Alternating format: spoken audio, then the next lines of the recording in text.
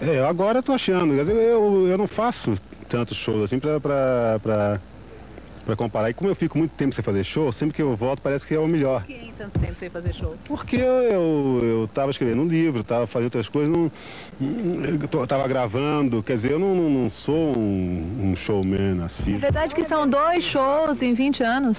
Duas turnês? São, são porque meu último show, uh, antes do penúltimo, foi com a Betânia no Canecão, 75, né? Você mudou Aí... muito no palco de lá pra cá? Não, é a mesma, mesma coisa. Melhorou o que, que mesma coisa, só mudou o arranjo. Eu tô, sou eu com aquele mesmo com arranjo novo.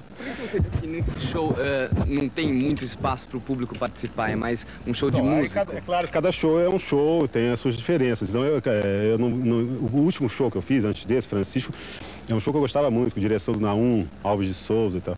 E esse show tinha que ser, evidentemente, diferente do outro. Então, a, a primeiro lugar, a, o repertório do outro show não estava, então tinha que eh, escolher. O outro show era muito calcado em cima das músicas que eu não tinha cantado durante 13 anos. Então, as músicas tinham feito sucesso que eu não tinha apresentado no palco.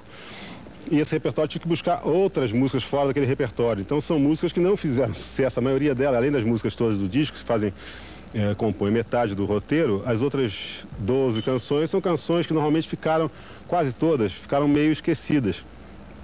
São canções que eu gosto particularmente de cantar e tal, mas que não são sucessos. Poucas músicas o público poderia cantar junto. Então o público participa menos do que o, o, o meu o penúltimo show, né? É um show então mais é um show, é um show mais intimista, eu, eu, eu chamo até de recital. É um recital não tem falas, não tem movimentação nenhuma, é um show é, parado, né? É, é, mesmo porque eu toco violão em todas as músicas, não daria para exibir minha, meus dotes é, de bailarino.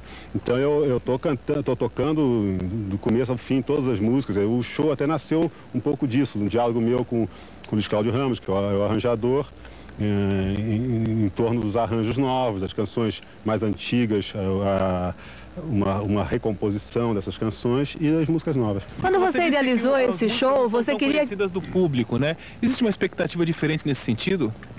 Como? Você disse que as músicas não são tão conhecidas do grande público, né? Quer dizer, existe uma expectativa trazendo esse show para São Paulo. Eu queria que você me falasse a respeito dessa expectativa. Bom, acho que a expectativa é a mesma que havia no Rio. Quer dizer, o em primeiro lugar, acho que as pessoas vão lá para ver um compositor que canta e talvez vão esperando ouvir as suas músicas. Cada um tem uma música. Quando chegava no final, muita gente pedia essa, aquela música. Quer dizer, cada uma, cada pessoa tem a sua, o seu roteiro, né? Agora, nesse sentido, é um show que, que vamos dizer, ele não é, não é um show que satisfaça o, o desejo de cada um.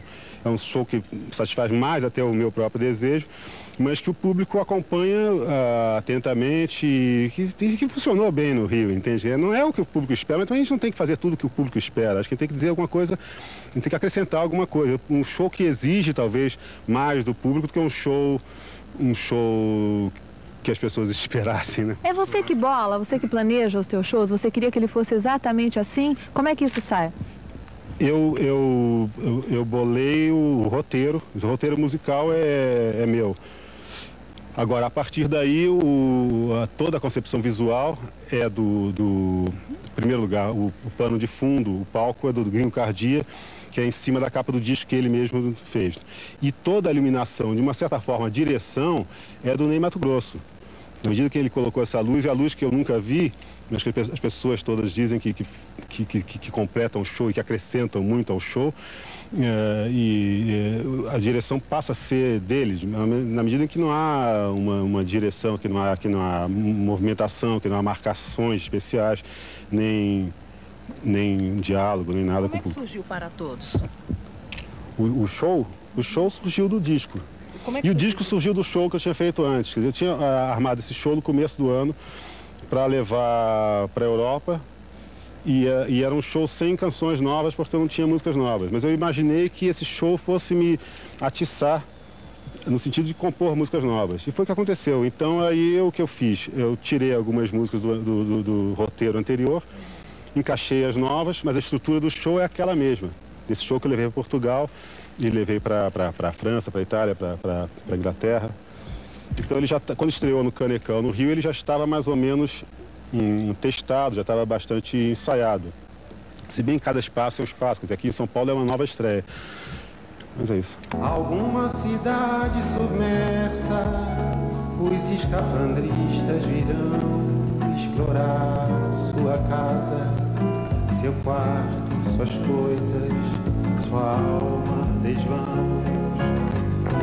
Sábios em vão tentarão decifrar o eco de antigas palavras, fragmentos de cartas, poemas, mentiras, retratos, vestígios de estranha civilização.